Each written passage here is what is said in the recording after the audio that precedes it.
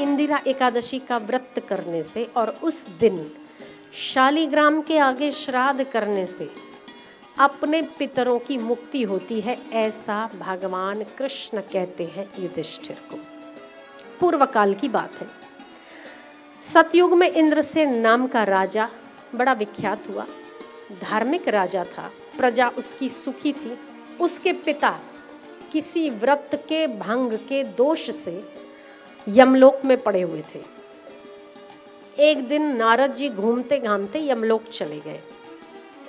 वहाँ इंद्रसेन के पिता परेशान थे और उन्होंने नारद जी से कहा कि नारद जी, मेरा बेटा तो बड़ा धार्मिक है, बड़ा अच्छा राज्य करता है, पर मैं यहाँ पर यातना सहन कर रहा हूँ।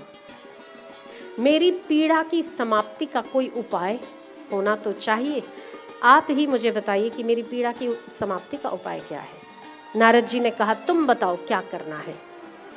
बोले, तुम जाओ धरती पर और मेरा बेटा इंद्रसेन, जिस राज्य का राजा है, उसे कहो कि तुम्हारा पिता परेशान है, इंदिरा एकादशी का व्रत करे और शालीग्राम के आगे विधिवत मेरा तर्पण करे।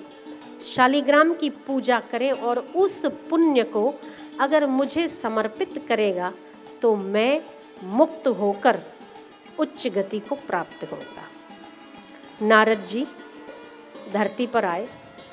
इंद्रसेन ने उनका सत्कार किया अवभगत की और नारद जी को पूछा कि, नारद जी, संतों का आना व्यर्थ नहीं होता है। संतों के आने से आत्मिक शुद्धि होती है, बुद्धि पवित्र होती है, नयनों से दर्शन करके नयनों की शुद्धि होती है। आपके आने का कारण जान सकता हूँ मैं, और मेरे लिए क्या आदेश है? तब नारद जी कहते हैं कि, मैं एक बार यमलोक गया था, तुम्हारे पिता को देखा। तुम्हारे पिता ने मेरे को एक मैसेज दिया है। एक संदेश भेजा है तुम्हारे लिए। और उस संदेश में ऐसा है कि इंद्रसेन, तुम इंदिरा एकादशी का व्रत करके उस पुण्य को अपने पिता के नाम पर यदि संकल्प करके अर्पित करोगे तो मेरी मुक्ति हो जाएगी। इसीलिए इंदिरा एकादशी का व्रत मेरे लिए करो और शालीग्राम के आगे श्राद्ध करो। ये इंदिरा एकादशी पितरों को मुक्त कराने के लिए सबसे श्रेष्ठ एकादशी मानी जाती है। क्या करना चाहिए इस एकादशी के दिन? कि सुबह सुबह सूर्योदय से पहले उठना चाहिए, दातुन करके, भगवान नारायण का ध्यान करके। उनके आगे संकल्प करना चाहिए कि हे नारायण, आज मैं निराहार रहकर इस श्राद्ध को पूर्ण करूँगा। हे अच्युत, आप मुझे अपनी शरण में लें और मेरे पितरों को नीच योनि से मुक्त करें।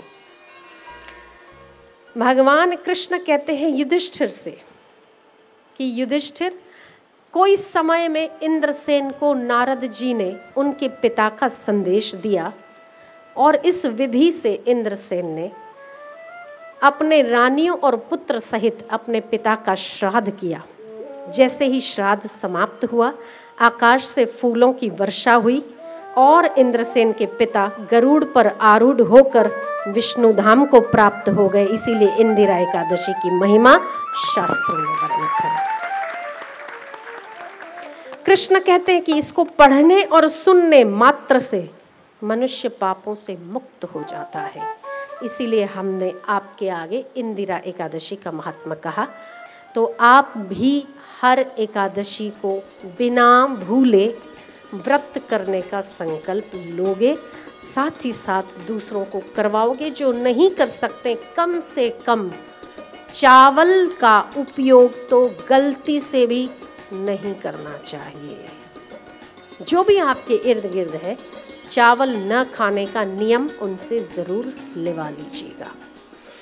ओम नमो भगवते वासुदेवाय, ओम